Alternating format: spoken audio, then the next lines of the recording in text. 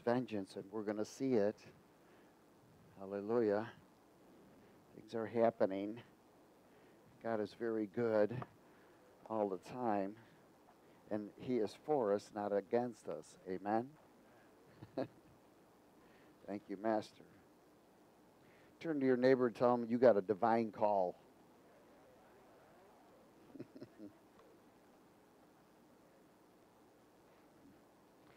Turn to 1 Corinthians 4, please. Verse 1.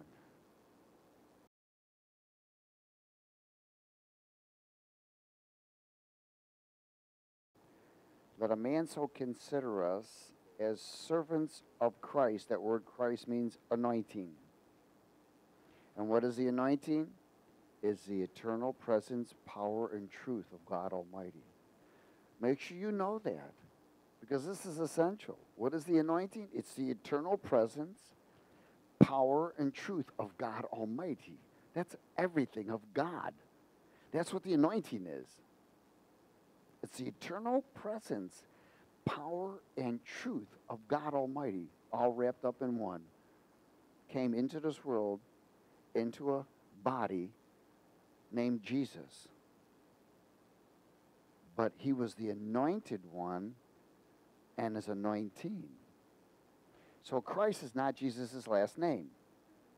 Amen. It's Jesus the Christ.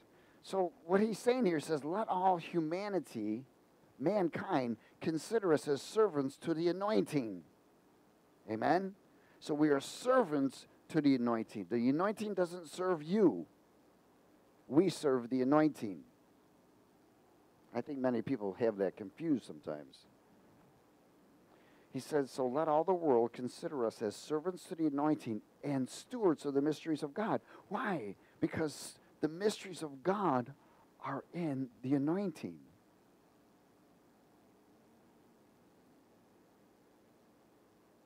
Then he explains something what, about stewards. He says, Moreover, it is required in stewards that one be found what? Faithful. So there's a connection here. He's saying, My faithful ones will maintain and walk in my anointing, but my ones that are not will walk away from my anointing. Many people walk from under the anointing of God Almighty and don't even know it for years, and they don't know it. Hello? He says something also powerful. He says, But with me, it's a very small thing that I should be judged by you or by human court. In fact, I don't even judge myself. For I know of nothing against myself, yet I'm not justified by this. But he who judges me is the Lord. Why? Because the anointing is also considered, it's like a rub. Rub. In other words, you are in such close relationship with the Lord that it's his presence is rubbing off on you and there's an exchange of presence because you're close, rubbing off on one another. It's a point of contact.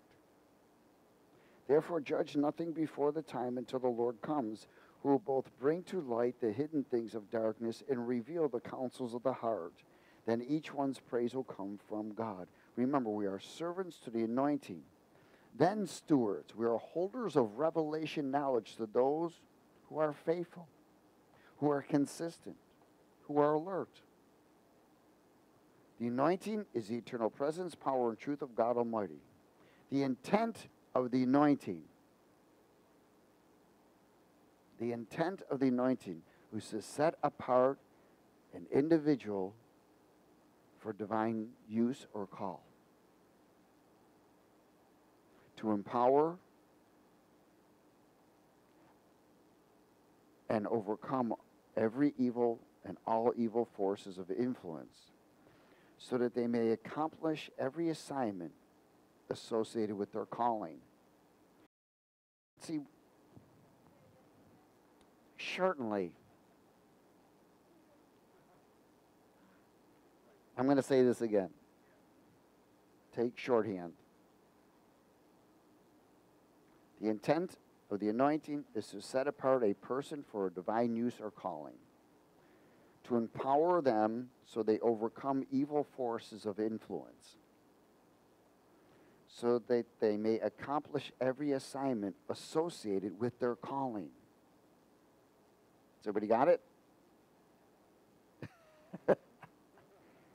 okay, get the tape or VD or DVD, whatever. Anyways, I'll say it one more time. The intent of the anointing is to set apart a individual or a person for divine use or call so that they may be empowered to overcome evil forces empowered to overcome evil forces of influence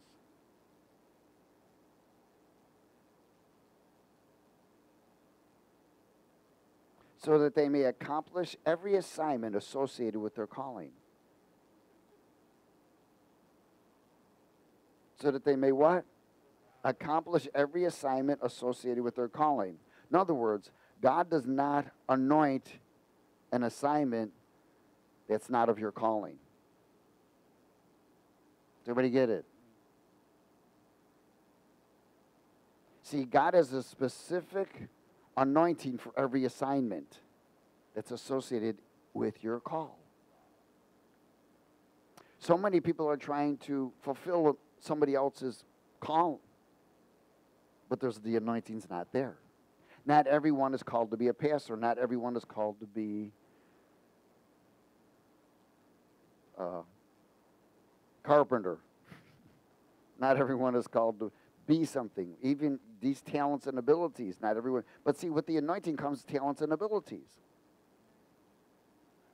When you begin to fall out of or try to fulfill another call, the anointing will never be there for you. You'll do it in the flesh. I never asked to be a pastor. I was invited to be one. See, if you're close to the Lord, your desire is everything to please Him, whatever it is. You are not looking to anything to fulfill but Him. And then things come. One day he said to me, Well, I was invited to be a pastor. I said, Lord, I'm not a pastor. He said, You'll be whatever I tell you to be. Okay. That was not my desire. But as I began to accept the call, the invitation, because that's what a call is, the anointing came and then the desire followed. Does everybody get it? So many people are trying to bring the anointing to the desire, and that's not how it works. Does everybody get it? It's the anointing that creates the desire. See, when people, this is why it's so important to come out of the emotional state. That's why he says, deny yourself, come to the end of yourself. Then there is no emotion there. There's only peace, joy, and righteousness in the Holy Ghost, which is the anointing. And when you stay there, the anointing will bring the desire. Is everybody okay? But see, so many people are grabbing desires. They're trying to fulfill everybody else's call and they come into confusion. Frustration opens the doors to familiar spirits and everything else that can torment you. Is everybody okay? Does everybody understand this? Man, we can't lose sight of this because right now is so important because there's so many people not only walking in mixed anointing, but walking out of the anointing into another call that God never called them to. Oh, hallelujah. 1 Corinthians 1, verse 26.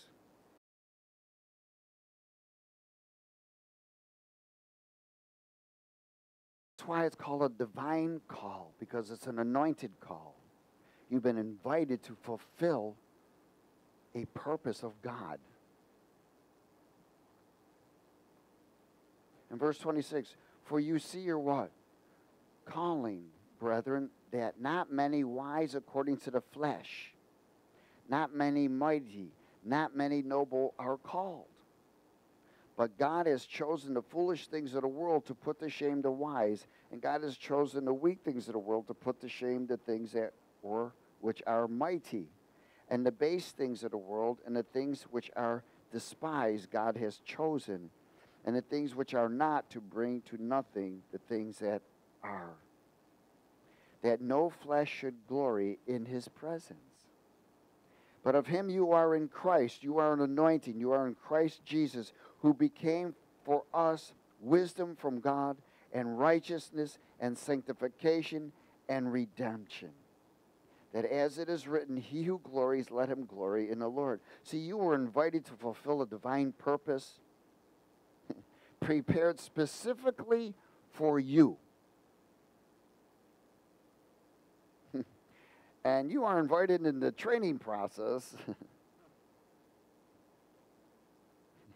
And the purpose of that is coming to the end of yourself so that you can fill the call. Because self can never fulfill the call. See, there's an exchange made. You step into the new spiritual man. Amen. The physical man never can accomplish what the spiritual man can. Each assignment will come with a special anointing and meets us to serve. See, so many people go on waiting for the anointing to come. No, you move and the anointing meets you. Does everybody get it? Well, I never felt the anointing. No. When God says go, when He tells you, you know it's a part of the assignment, you move and the anointing meets you. If he says go pray for someone, you may sit there and wait all day for the anointing, it ain't coming. Until you go. He meets you all the time. Does everybody get it? Each assignment will come with its special anointing and meets us for service. Did you ever realize? Look at, you know, sometimes when you get invited and you go somewhere and whatever, and you're kind of nervous because you've been asked to speak, and you're waiting for the anointing, and like, oh God, where's the anointing? I ain't going out there unless the anointing comes. Well, you better go out there, bro. And next thing you know, you get out there, and the anointing comes, and you become another person. How many times did you felt like crap? You felt ill. You felt this. You felt that. Every kind of feeling was attacking you in every way to keep you home from getting in God's presence. And once you got in God's presence, the anointing came and you became a different person. Amen? Because God met you there. Does everybody understand that? Hallelujah. See, but so many people, because they're emotionally entangled in themselves, they allow their emotion to dictate their choices when God is trying to meet them, free them, deliver them. And they recycle all the time the same stupid mistake because they're not allowing God to take position. They're really not allowing God, the Lord, really take the position so that they can be led. Amen? Oh, hallelujah. There's so much. Isaiah 11.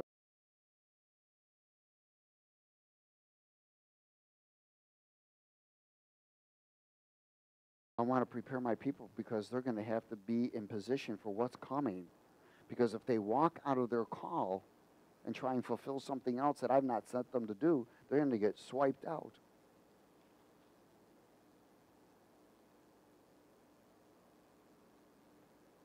Now, um, not only does the anointing meet you, okay, but there's a time when you catch the anointing. And there's, a, there's an area where the anointing is inherited. Does everybody understand that? Um, that's why in the Old Testament and, and so forth, when they would lay hands on individuals to pass on the anointing because it was inherited to them. But they served under that anointing. Remember when Elijah and Elisha, amen? He received the mantle because the anointing, he was inherited the anointing because he served. You inherit the anointing you serve under. Hallelujah. Isaiah 11. But you got to be faithful. Verse 1. Let's speak it together. There shall come forth a rod from the stem of Jesse, and a branch shall grow out of his roots. The Spirit of the Lord shall be a what? Upon him. Here it is. Are you ready for this? This is powerful. The Spirit of the anointing is the Spirit of the Lord. Who is the Spirit of the Lord? The Holy Spirit. Amen. So the Spirit of the Lord shall be upon him. The Holy Spirit, the anointing shall be upon him. The Spirit of wisdom and understanding, the Spirit of counsel and might, the Spirit of knowledge and the fear of the Lord. Again, the Spirit of the anointing is the Holy Spirit. Anointing because there's a point of contact that's happening in relational contact with the Lord. It's relational contact. Why? Because the anointing also means to rub. Amen? You're rubbing by his presence on you. In this, you carry multiple characteristics or what we call assets of assistance with divine wisdom. This is all inherited with the anointing. The wisdom, the understanding, the counsel, the might, the knowledge, the reverence and the fear of the Lord. There's a reverence that you carry. Only through the anointing can this happen. When you lose that reverence, it's because you walked away from the anointing. Does everybody get it? Hallelujah. Now, again, these attributes, which are seven attributes, are inherited in the anointing, with the anointing. You carry these with you, it's with you. Now, there's an anointing that is placed that you live in, it's abiding in you all the time. The eternal presence and power of God Almighty. Abiding you. That's why you get convicted and so forth. The Holy Spirit is living in you. But, you know, you can ignore Him but He's there. But then there's anointing that comes on you with service. It comes on you to do something. Amen? There's the kingly anointing, the priestly anointing, and the salvation anointing, representation of all three chambers of the tabernacle. So when you first got saved, you got saved with the salvation anointing. After you got baptized in the Holy Spirit, you had a priestly anointing. Now, as a priest that ministers to the Lord, you press on, you become a king, a warrior. There's a warrior, a kingly anointing. Like David. David was a minister to the Lord for many years. And then the anointing came on and he became king. Amen? But what is the anointing? This eternal presence and power of God Almighty. Hallelujah. Is everybody okay? Praise God. Look at verse 3. He says, and, and this is what's going to happen with the anointing. You will delight in the fear of the Lord. You'll delight in it. And you shall, uh, and you won't judge by what you see. And this is what Christ is doing. Nor decide by the hearing of what your ears. Why? Because you're going to have a knowing that's beyond all that. This is called beyond common sense. The anointing doesn't associate with common sense in that arena. There is an a knowing in the anointing that supersedes everything. It says, But with righteousness he shall judge the poor and decide with equity for the, the meek of the earth. He shall strike the earth with the rod of his mouth. Hallelujah. And with the breath of his lips he shall slay the wicked. Righteousness shall be the belt of his loins, and faithfulness shall be belt of his waist. Again, we know that this is, he's talking about Jesus with the anointing, but again, we are the offspring of the Anointed One and His anointing. We inherit these things. Is everybody okay? You have a divine call. 2 Corinthians 5.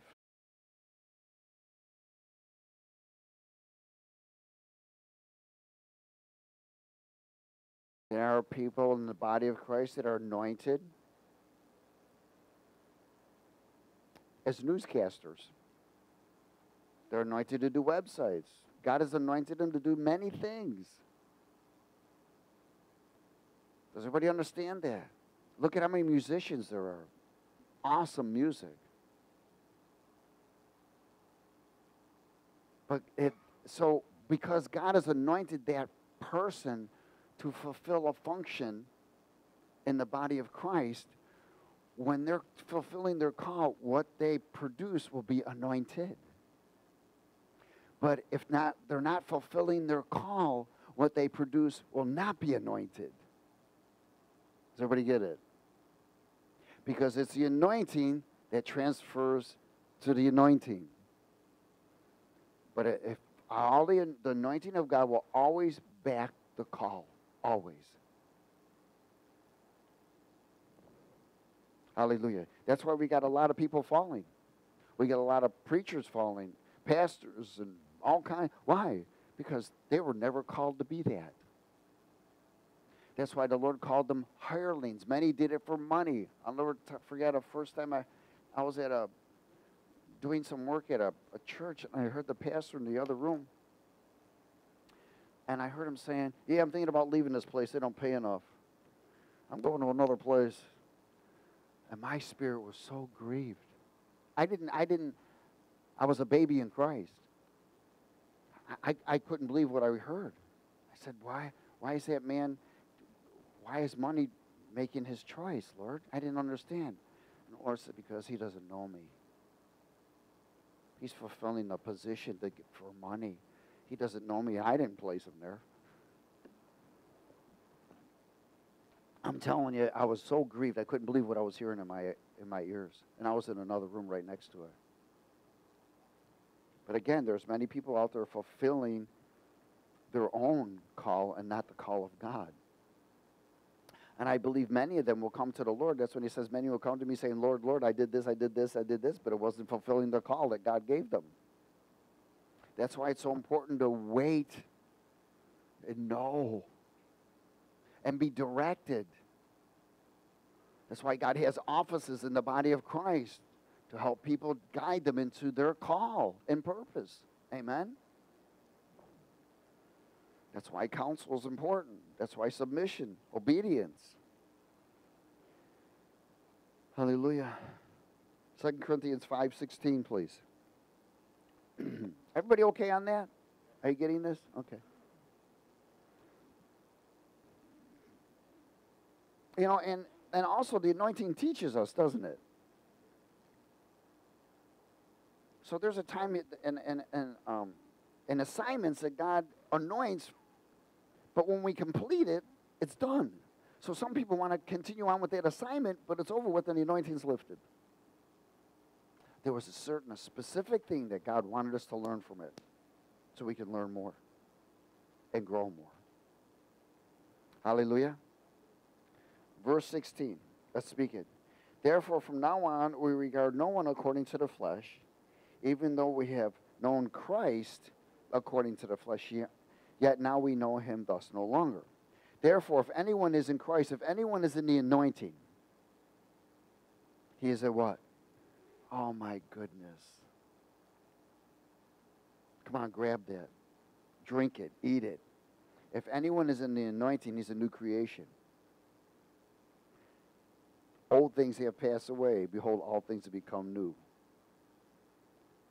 So if the individual is not walking in the anointing,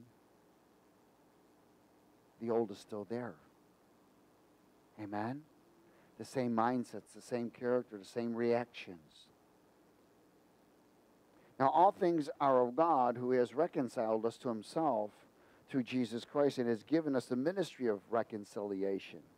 In other words, uh, there's been a heart change. And the anointing, the new creation grows and the old man goes. I'm going to say it again. In the, in the, new, in the anointing, the new creation grows and the old man goes. With a heart change of reconciliation. And there's a desire to reconcile all humanity to Jesus.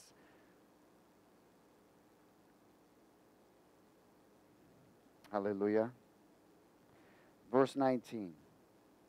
That is, that God was in Christ, in the anointing, amen, reconciling the world to himself, not imputing their trespasses to them, and has committed to us the word of reconciliation.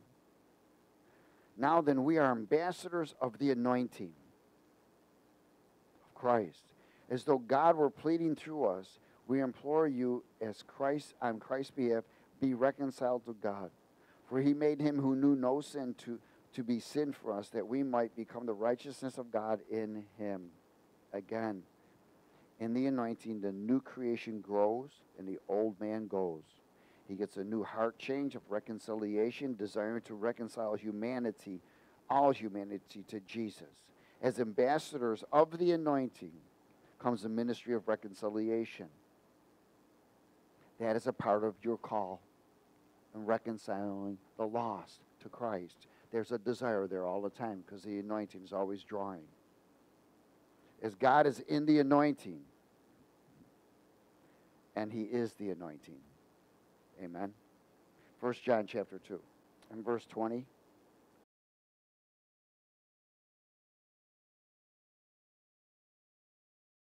What does it say? But you have an anointing from the Holy One, and you know all things.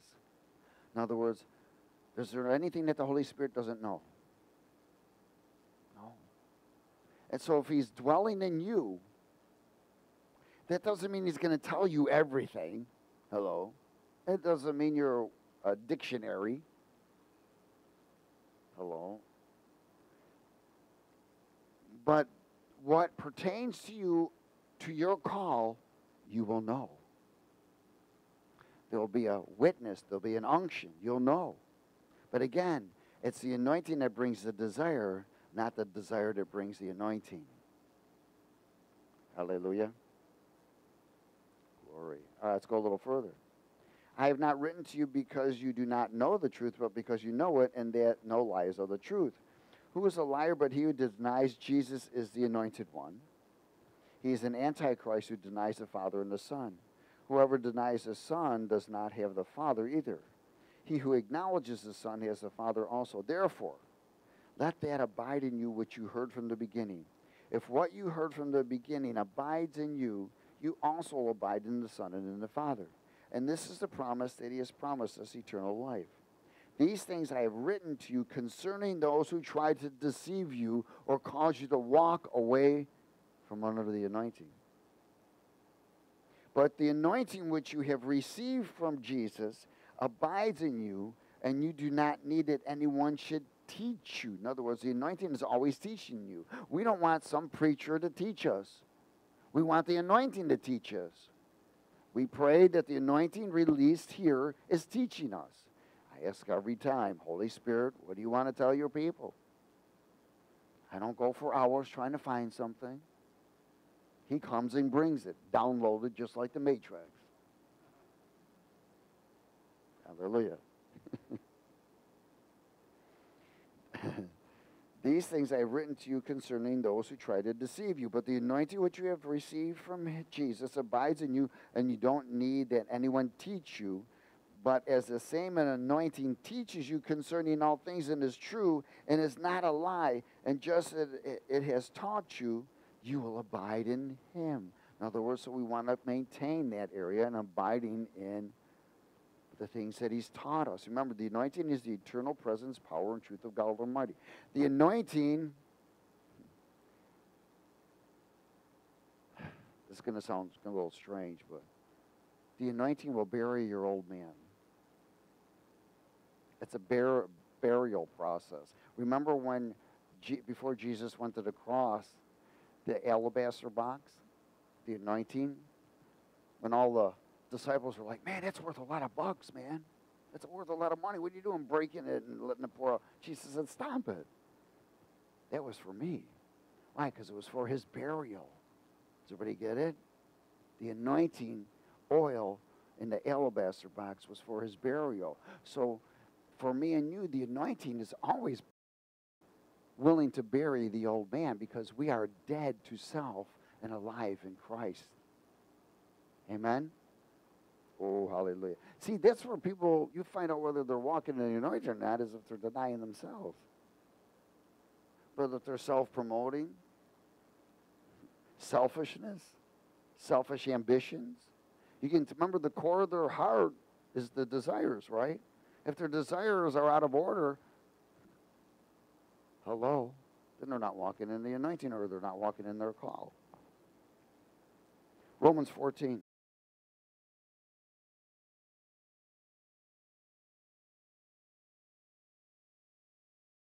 To school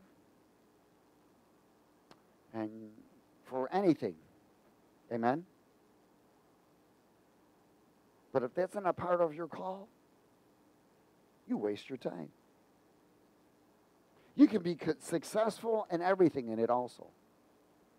But if God hasn't called you to it, it's not a part of your calling, you won't be rewarded for it. Does everybody get it? You can't be. Because God will not reward the flesh. He rewards the anointing. That's why you got to be close. That's why you, you got to acknowledge Him in everything you do. Verse 16, Romans 14, 16. Therefore, do not let your good be spoken of as what? Evil. For the kingdom of God is not eating and drinking, but what? Righteousness, peace, and joy in the Holy Spirit, or righteousness, peace, and joy in the what? The anointing. Amen. Righteousness, peace, and joy in the anointing. When we step out from the anointing, the mind refocuses on self, fear, pride, and lust. I'm going to say that again. When you step out of the anointing, the mind refocuses on self, pride, fear, and lust.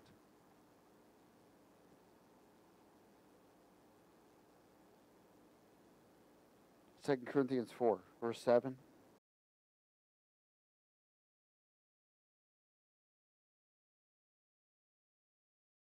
But we have this treasure. What is that treasure? The anointing in earthen vessels,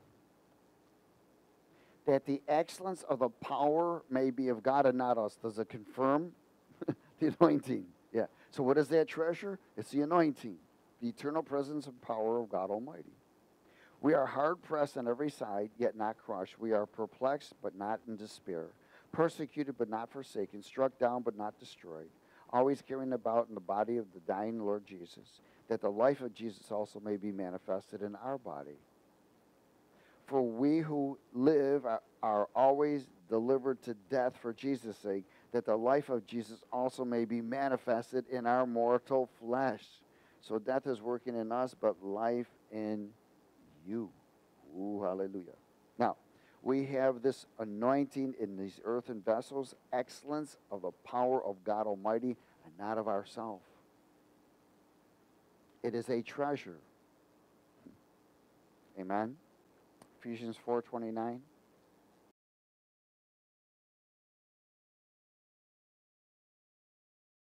Let no corrupt word proceed out of your mouth, but what is good for necessary edification, that it may impart grace to the hearers. And do not what? Grieve the Holy Spirit. Wait a minute. He just said, don't grieve the Holy Spirit. From what? What comes out of your mouth? Do not grieve the Holy Spirit of God by whom you were sealed for the day of redemption. Of the things that you speak, you may grieve the Holy Spirit and walk right out from under the anointing. He says, Let all bitterness, wrath, anger, clamor, and evil speaking be put away from you with all what? Malice. And be kind to one another, tenderhearted, forgiving one another, even as God in Christ forgave you. Don't grieve the Holy Spirit with words of corruption because you'll end up walking right from out underneath the anointing. Psalm 51, in verse 10.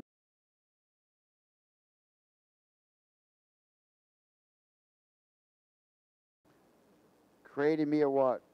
A clean heart, O God, and renew a steadfast spirit within me. And do not cast me away from your what? your presence. And do not take your Holy Spirit from me. Hallelujah. Again, let's speak it again. Create number 10. Create in me a clean heart, O God, and renew a steadfast spirit within me. Do not cast me away from your presence, and do not take your Holy Spirit from me. Restore to me the joy of your salvation, and uphold me by your generous spirit. Then I will teach transgressors your ways, and sinners shall be converted to you. Don't cast me away from your presence. Keep my heart clean. Amen. Isaiah 61 from verse 1.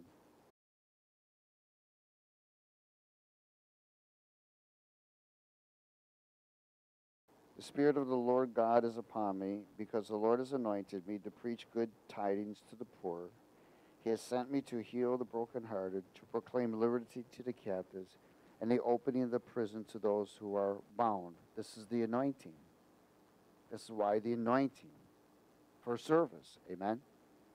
To proclaim the acceptable year of the Lord and the day of vengeance of our God. To comfort all who mourn and counsel those who mourn in Zion. To give them beauty for ashes, the oil of joy for mourning, and garment of praise for the spirit of heaviness. So when the spirit of heaviness or oppression comes on, you start praising God. Why? Because the anointing will come and break its yoke. that they may be called trees of righteousness, the planting of the Lord, that he may be what? Glorified. Hallelujah. That's what the anointing is for. Me and you. Service. Matthew 16, 13.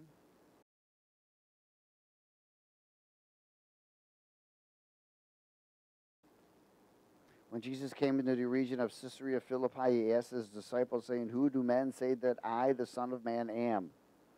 So they said some John the Baptist, some say Elijah, others Jeremiah or one of the prophets.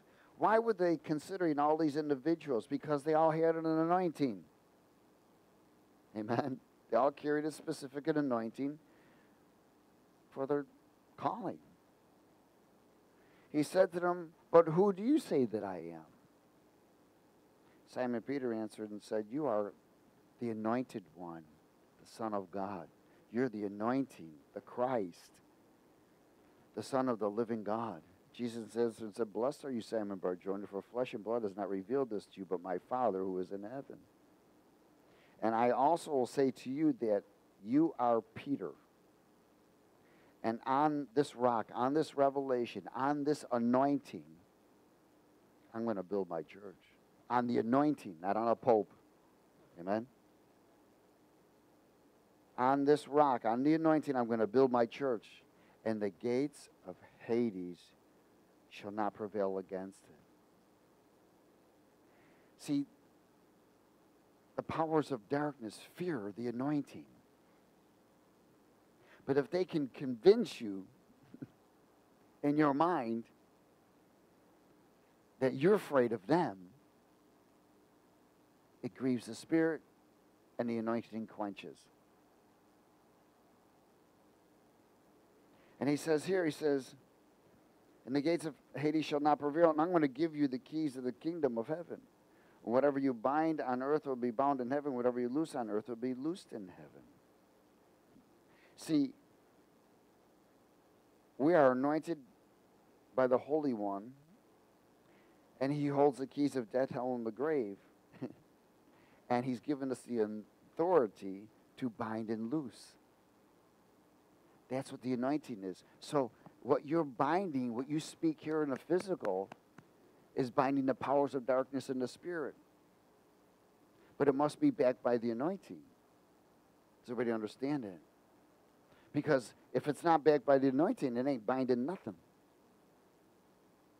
If you're walking, living a life of disobedience and rebellion, you, the anointing's not there. The anointing is sustained by submission and obedience in everything. Amen? Hallelujah. Mark 16 16.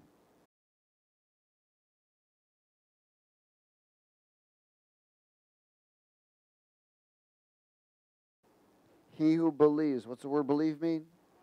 Follow. He who believes and is baptized will be saved. But he who does not believe will be what? Condemned. Who does not what? Follow. And these signs will follow those who believe or follow. Why? Because in the anointing, in my name, they will cast out demons. In the anointing, they will speak with new tongues. In the anointing, they will take up serpents, and if they drink anything deadly, will by no means hurt them.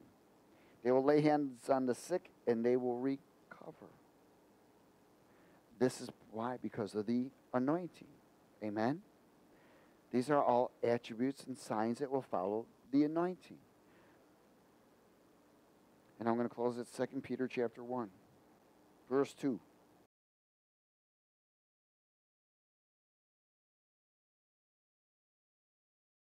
Grace and be, peace be multiplied to you in the knowledge of God and of Jesus our Lord, as his divine power is given to us all things that pertain to life and godliness, through the knowledge of him who called us by glory and virtue, by which have been given to us exceedingly and great precious promises, that through these you may be partakers of the divine nature, having escaped the corruption that is in the world through lust.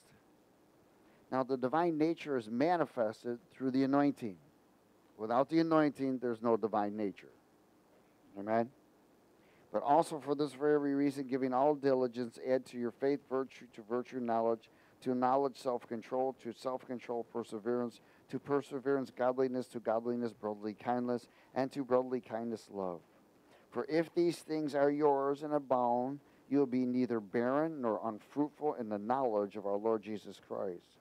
For he who lacks these things is short sighted even to blindness, and has forgotten that he was cleansed from his old sins. Therefore, brethren, be even more diligent to make your call and election sure. For if you do these things, you will never stumble. Why? If you're fulfilling your call, that's backed by the anointing, you won't stumble. For so an entrance will be supplied to you abundantly into the everlasting kingdom of our Lord and Savior Jesus Christ. Yes. Yes. Divine nature, divine call, divine anointing. Amen. It's all available for me and you. But we want to make sure that we're walking in that anointing. Amen. It doesn't mean you won't make a mistake. It doesn't mean you're perfect. But we just don't want to grieve the Spirit, do we? We don't want to walk from underneath it. We don't want to, walk away from it. But there are things that will grieve the Spirit that He'll stop and we'll still walking. Hallelujah. So, Father, we thank you for your word. We're honored and blessed. And we thank you, Lord, that you're preparing us for what's coming because the enemy is trying to quench the anointing, trying to grieve the Spirit of God that's within us. So, Lord, we just ask for more visitation, revelation, and impartation. We ask for forgiveness of every time we've grieved your Holy Spirit, and that you'd keep us with a pure heart, clean hands, and take not your Holy Spirit from us, but maintain us in your presence in Jesus' name. Everybody said, Amen.